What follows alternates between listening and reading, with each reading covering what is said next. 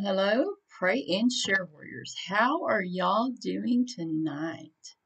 I hope you're doing great. It was a great Friday here. I hope you had a great Friday. I uh, did some Christmas shopping today. It's never too early.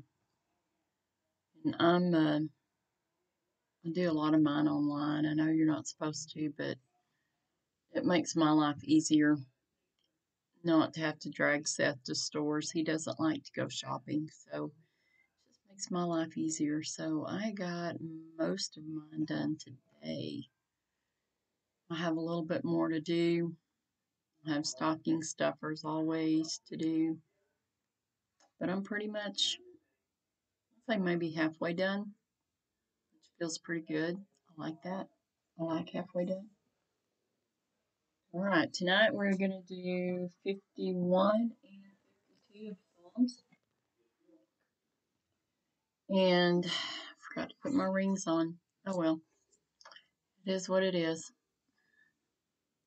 It's um, I'm late tonight. I was in there watching something on the TV that was very, very intriguing. Um, some risk, some people that go and recover people rescue people from the mud, from the snow, from the anyway, they got stuck themselves in mud. That's pretty interesting. All right, well, we are going to pray and then we will dive into Psalms. Psalms 51 and 52. Gracie is not here tonight. I think she's mad at me because she was sleeping in her chair this afternoon. Well, she's sleeping in my chair this afternoon when I came in. And uh, I think she is mad at me. Okay, well, let's get this done. Let's pray. God, I just praise you and thank you for all that you are and for all that you do. Just pray, God, that um, praise you that you are on the throne and that you are in control. You are on your throne and you are in control. You are the great Jehovah. You are the great I am. You are from everlasting to everlasting and you will always be God. Thank you for being our creator. Thank you for being our sustainer, our provider, our protector. Thank you for being our shelter in the storm. Thank you, God, for giving us strength and giving us refuge. You are mighty and powerful and magnificent. There is no God like you. You are the righteous judge that will judge all unrighteousness according to your truths. That you are caring and loving and kind and compassionate, God. You are trustworthy. You are faithful, God. You want, you are patient. You want none to perish. For loving us. Thank you for calling us as your children. We love you with our whole heart, our soul, our mind, and our strength. God, we pray for the lost. We just pray that you would open their eyes and their ears to the truth, that you would open up their hearts to the truth, that um, you would allow the Holy Spirit to draw them to Jesus so they would be saved. We pray for the prodigals to return, God, to repent, be reconciled. God, there is so many things that have happened the last three weeks, plus more, I'm sure. Just three major ones that I am aware of, God. This this shooting, this school shooting. In um I think Wisconsin. No, Detroit, Michigan. In Michigan. The school shooting where four students were killed by another student and seven were injured and are in the hospital healing. That tragedy, God, that senseless tragedy. In God, the senseless tragedy in Waukesha. I'm not sure what state, God, you know, where six people were killed, God. When someone decided that running through a parade was a good idea. Another senseless tragedy, God. Many people are still healing from the injuries that they had. Many families are still sad, God. And then the one in Houston, the concert in Houston, where I think 11 people were killed and many, many were injured. Hundreds were injured, God.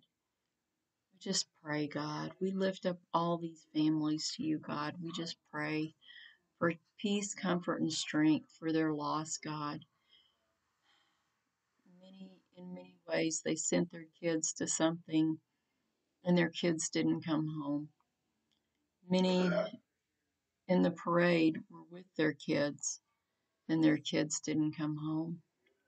God, we just pray for healing, for moving forward for these these three cities that have endured so much.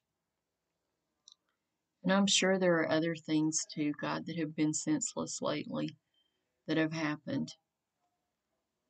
But those three stick out the most in my mind. God, we pray for all the tragedy that goes on in our country and all over the world. We just pray that you would be with these people, God, they would feel your presence, that their needs would be met, God, that um, they would be met by the hands and feet of Jesus and the loving compassion of Jesus. God, we pray for all the people that have lost loved ones lately. We just pray, God, that you would give them peace, comfort, and strength in our communities and in our state, God. We pray for people that are healing, either healing from COVID or other things, or cancer or other diseases, God. We just pray that you would give them strength, that you would heal their bodies, God, that they would feel your presence, that you would give their family strength too, God. God, we know where we are by reading your word. And God, we just pray that you would give us strength as we as we pray for people that have been through disastrous things, God. We just pray that you would give us strength, that you would give us boldness to share your truth and share the gospel of Jesus everywhere we go. And in Jesus' name we pray. Amen. Well, amen. Pray and share warriors. Amen, I think means so be it. I think I think it does. I'll look it up and let. Can't Google anything here things set up. Although I had YouTube app, I had to shut it down because my Cyberlink YouCam camera would not open up. We're not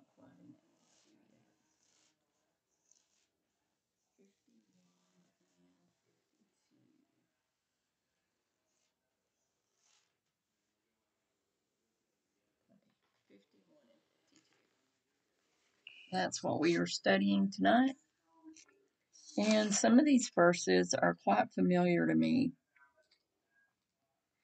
and some of them will be quite familiar to you too. A prayer of repentance. Wow, there is so much repentance that needs to be done in our country and around the world. I forgot to put mascara on today. I don't have very long eyelashes anyway. That's why you can't see my eyelashes because I did blush and I did face makeup, but I forgot my mascara. Okay, I didn't go anywhere today anyway. I'll try to remember it. If I'm here to do this tomorrow, I'll try to remember it. A prayer of repentance to the chief musician, a psalm of David, when Nathan the prophet went to him after he had gone into Bathsheba. So this is repentance of King David. That's what this is about. Have mercy on me, upon me, O God, according to your loving kindness, according to the multitude of your tender mercies. Blot out my transgressions, wash me thoroughly from my iniquity, and cleanse me from my sin. For I acknowledge my transgressions, and my sin is always before me. Against you only have I sinned, and done this evil in your sight, that you may be found just when you speak, and blameless when you judge. Behold, I was brought forth in iniquity, and in sin my mother conceived me. Behold, you desire truth in the inward parts, and in the hidden part you will make me. Purge me with hyssop, and I shall be clean. Wash me, and I shall be whiter than snow. Make me hear joy and gladness, that the bones you have broken may rejoice. Hide your face from my sins, and blot out all my iniquities. Create in me a clean heart, O God, and renew a steadfast spirit within me. Do not cast me away from your presence, do not take your Holy Spirit from me. Now, those are some verses that I have heard before. Restore to me the joy of your salvation, and uphold me by your generous spirit. Then I will teach transgressors your ways, and sinners shall be converted to you. Deliver me from the guilt of bloodshed, O God, the God of my salvation, and my tongue shall sing aloud of your righteousness. O Lord, open my lips, and my mouth shall show forth your praise. For you do not desire sacrifice, or else I would give it. You do not delight in burnt offering. The sacrifices of God are a broken spirit, a broken and a contrite heart. These, O God, you will not despise. Do good in your good pleasure to Zion. Build the walls of Jerusalem. Then you shall be pleased with the sacrifices of righteousness, with burnt offering and whole burnt offering. Then they shall offer bulls on your altar. So, David, this was David having a repentant heart, which I don't think that we, even as Christians, have as much of a repentant heart as we need to. I think a lot of times we do wrong and we forget to ask for forgiveness. I know sometimes I do. Sometimes I forget to pray before I eat because I think I'm starving, but I'm really not. But I'm working on that. I'm working on the repentance too having a repentant heart, having a sorrowful, humble heart towards God. And I believe that's what David was experiencing right then. He, he had sinned greatly before God. So this is what um, part about this. Give me a drink of water.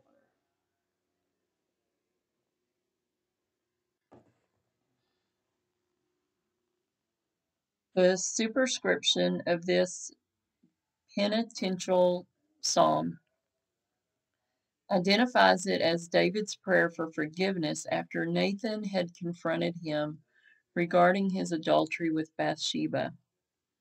The use of imperatives reveals the heaviness which David viewed his sin and his broken fellowship with God.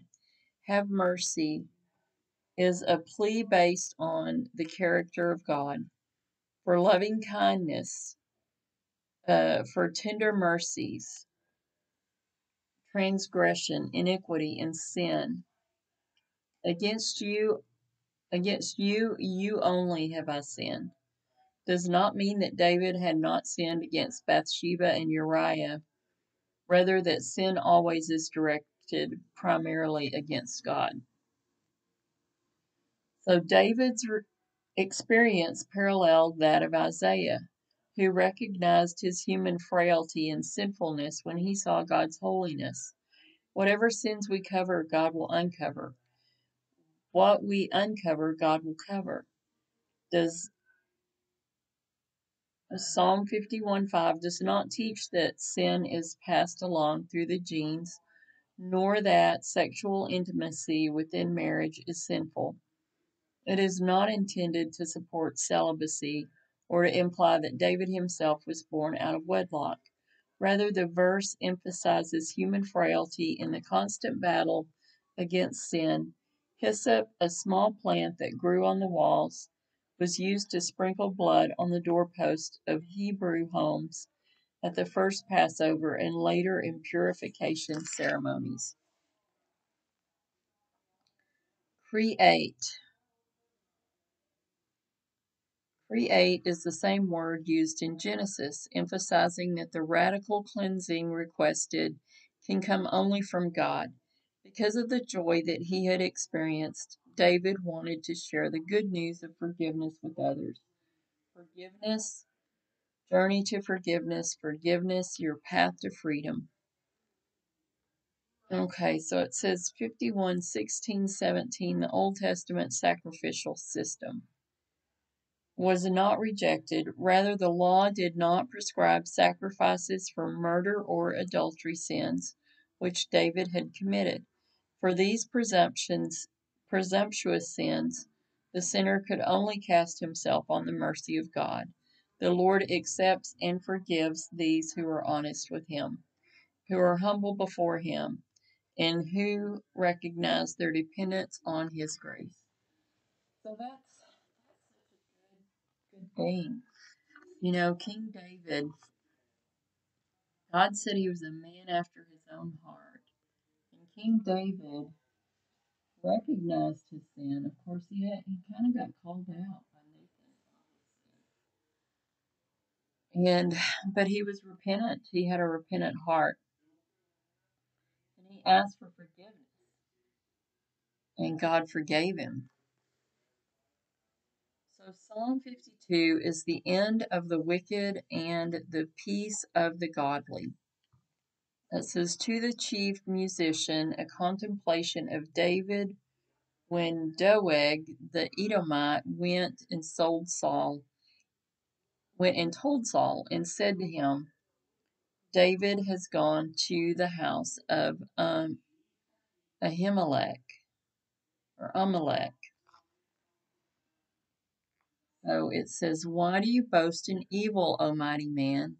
The goodness of God endures continually. Your tongue devises destruction, like a sharp razor working deceitfully. You love evil more than good, lying rather than speaking righteousness. You love all devouring words, you deceitful tongue. God shall likewise destroy you forever. He shall take you away and pluck you out of your dwelling place, and uproot you from the land of the living. The righteous also shall see and fear, and shall laugh at him, saying, Here is the man who did not make God his strength, but trusted in the abundance of his riches, and strengthened himself in his wickedness. But I am like a green olive tree in the house of God. I trust in the mercy of God forever and ever. I will praise you forever because you have done it. And in the presence I will wait on your name, for it is good. So, just a little end of the wicked, of God's righteousness, of God's righteous judgment. And then the righteous, how the righteous live for God and that they trust in the mercy of God forever. I will praise you forever because you have done it. In the presence of your I will wait on your name, for it is good. So we are waiting. We are waiting for our bridegroom to come. We are waiting for Jesus. But do we just sit in our chairs and wait? Or is there much that we can do while we wait? We want to stay on the righteous path. We want to stay on the path with Jesus. So when he comes back, he will find us doing his work. We'll find his, he will find us doing the work of God and not the work of man, but the work of God.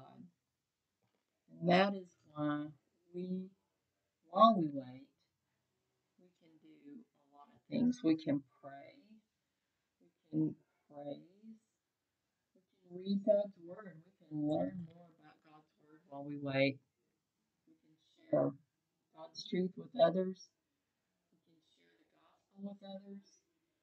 We can share the love of Jesus with others, the compassion, to use our hands and feet to minister to others.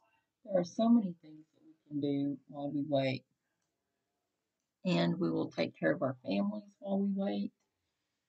There are a lot of things that we can do. We need not be idle. There are lots of things to do. Let's see how we want to do the uh, message tonight. The gospel. How do we want to share your ticket to heaven?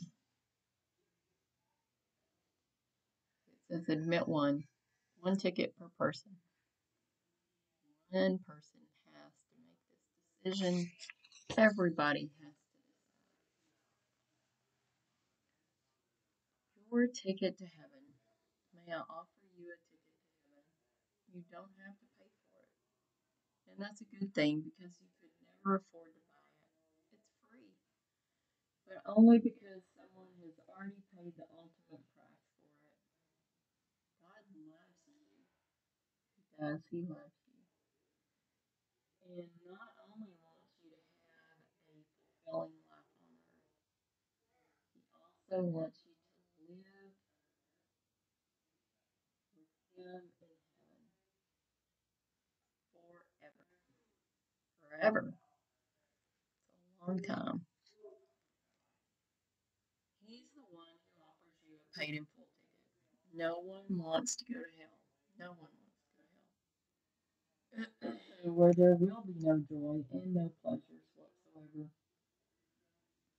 And God doesn't want anyone to go there either. The Bible says that God is not wishing that any should perish. 2 Peter 3 9. There is a problem with getting that free ticket. We have all done wrong. We have all sinned, haven't we? God's word says if we say we have no sin, we deceive ourselves. 1 John 1 8.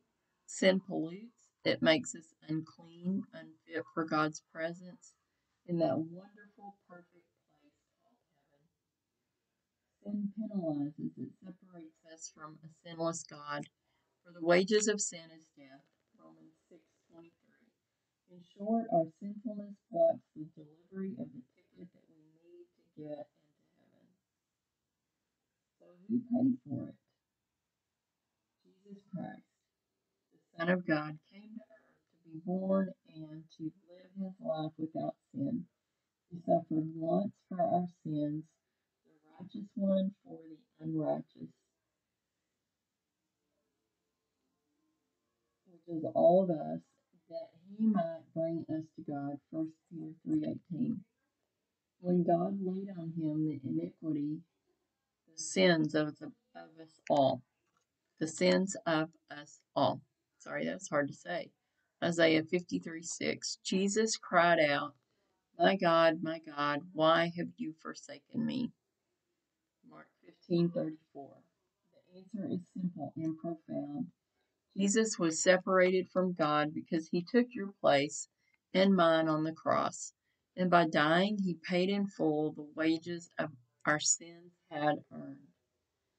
Then he rose from the dead, was seen by hundreds of people, and is alive today, so you can know him and receive the gift of eternal life. Your ticket to heaven. That's right, the Bible says, To all who did receive him, who believed in his name, he gave the right to become children of God. John 1:12. So that is awesome. You can become a new person, born of God, to start a brand new life that pleases God. And of course, all God's children have a ticket to heaven. So the question is do you want it? It's no accident you were given this offer of a ticket to heaven. God has made sure you can receive it. The whole issue is did Jesus pay for all your sins or didn't he? God said he did. Trust God that it is so. Whoever believes in the Son of God has eternal life. John 3:36. Just as a man says, "Yes, I will take this woman to be my wife," God wants you to tell him, "Yes, I will take Jesus to be my savior." I believe that he is the only way to heaven.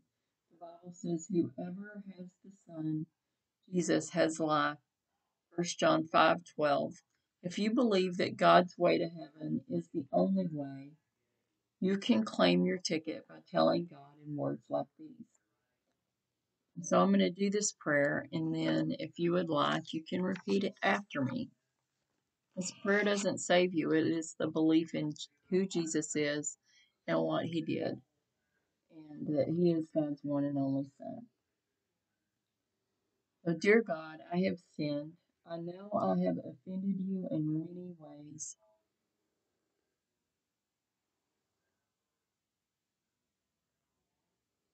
I am so sorry. I believe that Jesus suffered and died for my sins, paid my debt in full, and rose again.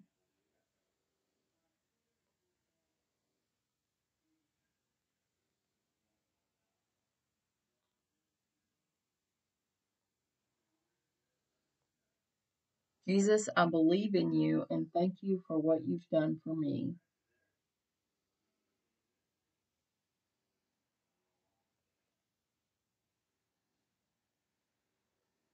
Please save me from the penalty of my sins and give me a new birth and the power to live for you.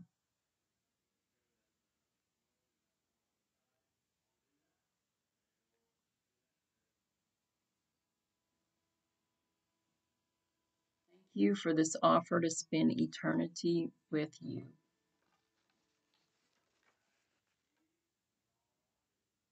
In Jesus' name I pray. Amen.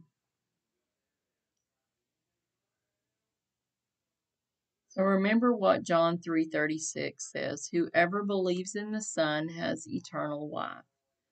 Do you now believe in Jesus as your savior, your only ticket to heaven? Do you have everlasting life like God said? So if you said this prayer, if you invited Jesus to be your savior, I don't know how that was up there. Welcome to the kingdom family of God. Your name is being written in the Lamb's Book of Life, and the angels are rejoicing. They are so happy. They are rejoicing. You are now saved, sealed, and sanctified by God through Jesus Christ, his one and only Son. Okay, it is time for me to turn the fan on. It's a little warm in here. It's time for me to give you God's blessing. I don't know if I'll be here tomorrow. I'm going to a my daughter's dance recital, Christmas Christmas dance recital. So I don't know whether I'll be here or not. Okay, so this is God's blessing for you. The Lord bless you and keep you. The Lord make his face shine upon you and be gracious to you. The Lord lift up his countenance upon you and give you peace. Ah, so good. Peace through God is so good. So good. Joy, love, joy, peace, patience, kindness, goodness, faithfulness, gentleness, and self control are so good. Going all at the same time. It's awesome. And that is the fruits of the Spirit in Galatians 5.22. And uh, that is how, as Christians, we are to walk. We are to walk in love, walk in joy, walk in peace, peace, patience, patience, kindness. I'm sorry, I have to say it fast.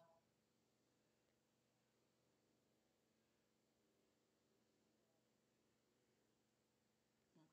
Love, joy, peace, patience, kindness, goodness, faithfulness, gentleness, and self control. There's nine. There's nine fruits of the Spirit.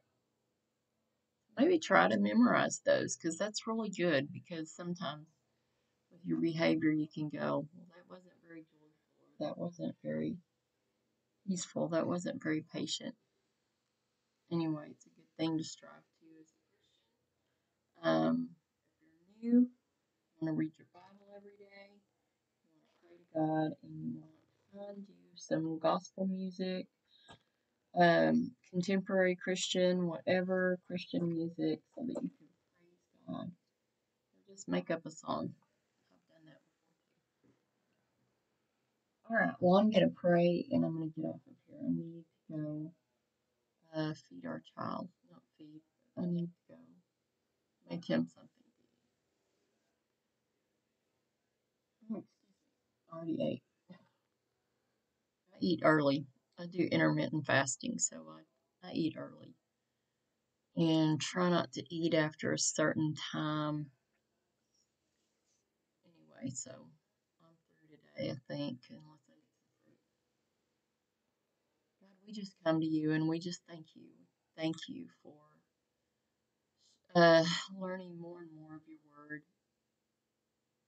all the time. Learning about the repentant heart, the humble heart, the sorrowful heart, the sorrowful heart that King David had. That many times we have a repentant heart, a sorrowful heart, a humble heart, God. Help us to continue to humble ourselves before you, to reverence you and give you honor and glory that you deserve, God. Help us to remember that you created us and you created us for your plan and purpose. Give us boldness to go and share your truths and share the gospel with others. Give us the hands and feet, the love and compassion, the heart of Jesus to share with others. I just pray for blessings. I pray for protection and provision and guidance for anyone that comes here, God, to learn more about your word. That I am nothing but um, a willing vessel that will share your word and your truth in the gospel of Jesus.